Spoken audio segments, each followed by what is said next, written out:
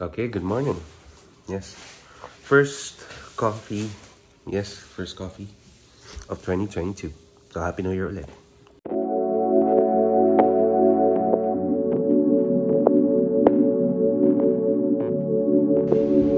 Tulad ng parati ko sinasabi every time. Wow, ang ganda ng view. Mas maganda sana. Wait, yeah. Awesome, awesome, awesome Airbnb. Bye-bye. Nasabi ko ba? Or hindi? We're here at Tagaytay Highlands. So, dito kami nag um, staycation for the new year. Very, very good. So, to the owner who's very um, accommodating, you the best. Yes. Made this new year memorable.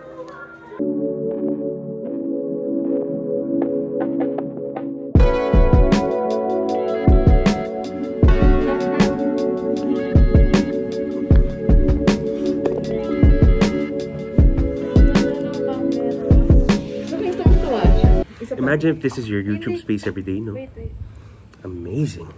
Beautiful, man. Damn. Nice. Check out the view. Check out the hair. Uh, some photo ops. Some photo ops. Photo ops. Check out my view. Wow. It's cold and it's amazing. Yes. Panalo. Things for the gram. For the gram. Ba't di pa ako sumasal doon? Well, obviously, I'm taking a breather. Bigat ng ano? Bigat ng mga bagay. Padre. Finally properly testing out this tripod. And I am uh, pretty excited. Yeah.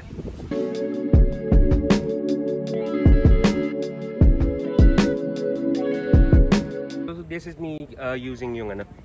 May ganun eh. Hip hop. Grabe no? Uh, for day 1 of 2022. Repping of course Sir Quicks from Adidas. Yes. So, we support our own. Sobrang panalo. Tapos kung alam niyo din pala, if you follow Filipino comics, anto, uh, may Dark Knight Origin na anto, uh, pin, anto, uh, in-illustrate or uh, dinrawing ni Sir Manix. Wow. Yes, it's a good time to be a anto, Filipino creative. Yeah. It's really, really good dahil kasi you're given the opportunity kasi to showcase your craft, your vision, ganon. And platforms like whether it's comics, whether it's um, lifestyle footwear, um, print, streetwear, mga ganon. Um, it's pretty cool. It's pretty cool na you get to express yourself, di ba? In your choosing, uh, in your choosing platform. So, panalo. Keep it up, guys. Keep it up, guys.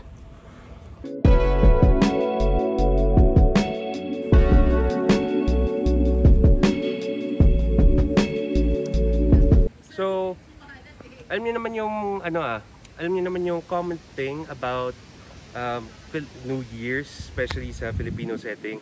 I want to talk about Filipino New Year's resolutions. I mean, it's the new year. It's the start of a new calendar year and it's a new start for everybody.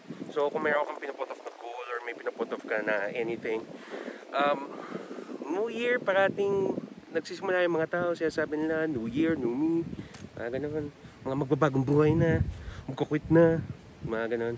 O kaya magda-diet na, mga madalas na ganun. So, madami kasi sa kanila parang hindi, sad to say, ay nag fall, uh, nagpo-fall out or hindi nagpo-push through. So, that's sad.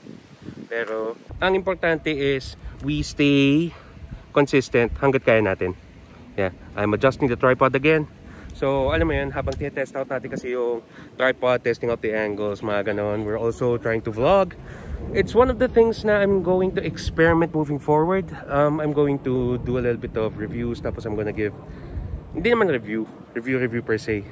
Pero, ano mo yun, food-related pa rin naman siya. And, may mga ganito. Yan.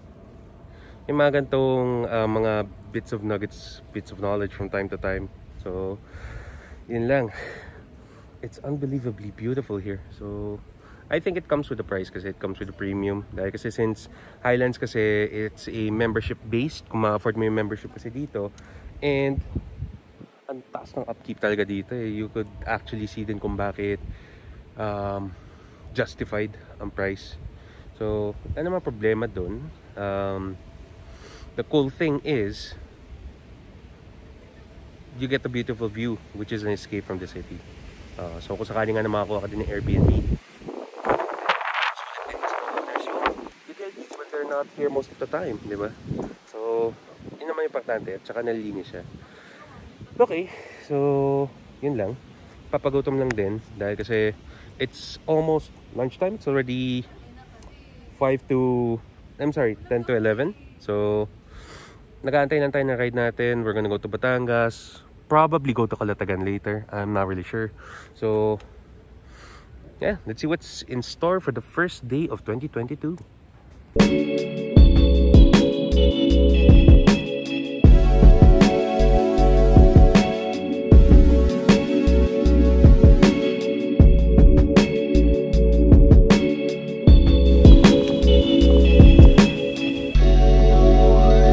So here's a 360 view of where we are right now.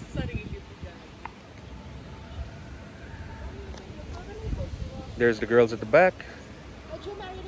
Malapit dun sa suite namin. Look at that. Wow!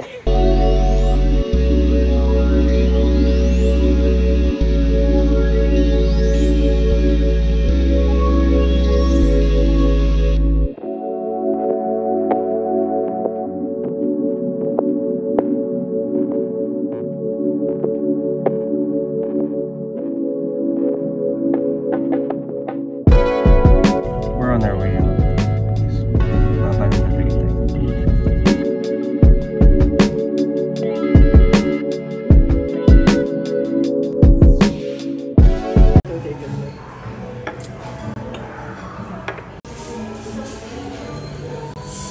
We're here at LZM right now sa so it's been a while since I've been here. Dude, it's been years. Yeah, time flies, no? So, first meal, first family meal of the year.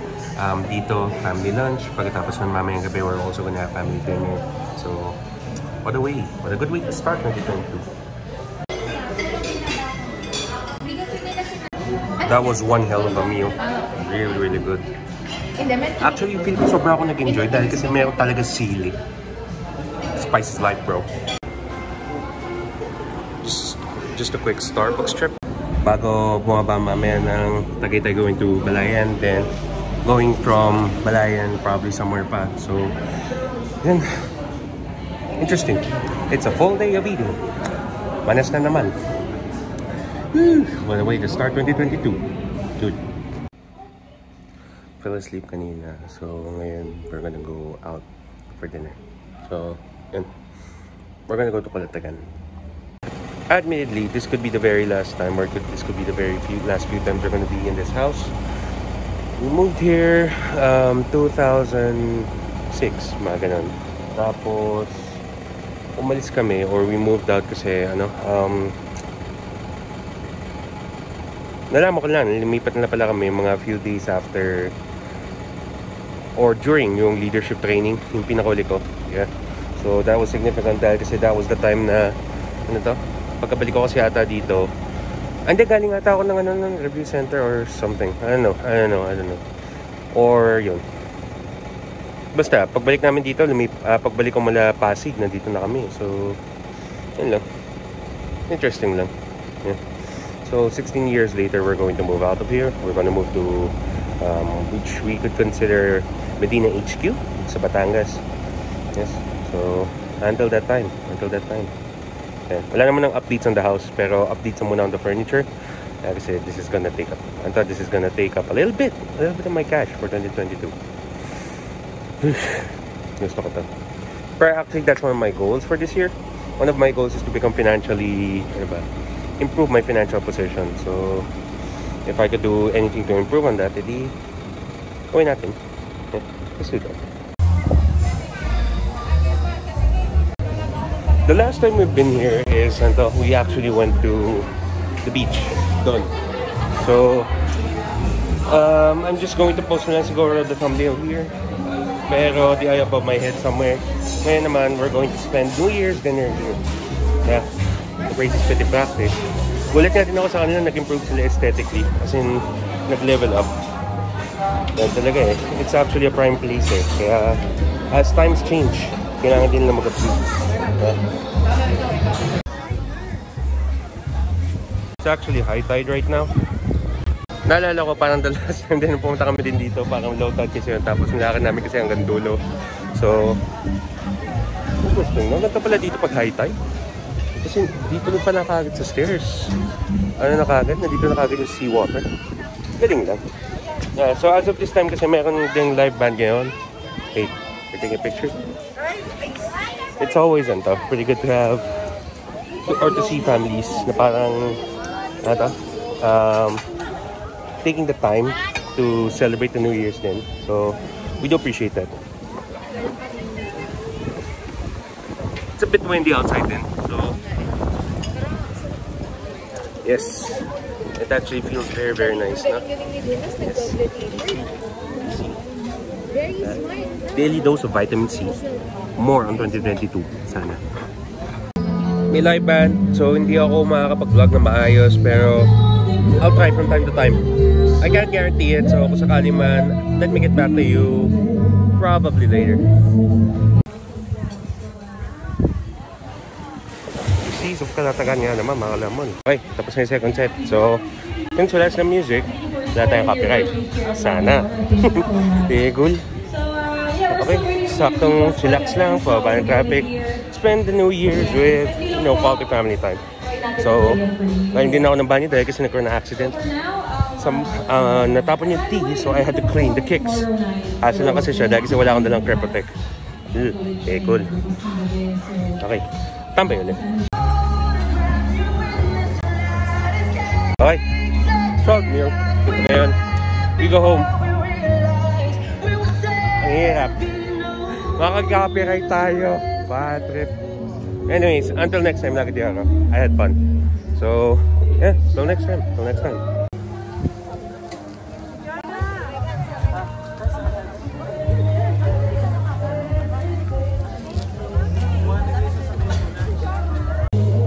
I saw pictures of this dun sa ano eh, mga kaibigan ng dad ko eh. So, sa kanila, ano, napansin ko talaga na ano, yung bagong management or yung bagong owners ng Lago de Oro taking up their for the gram game up.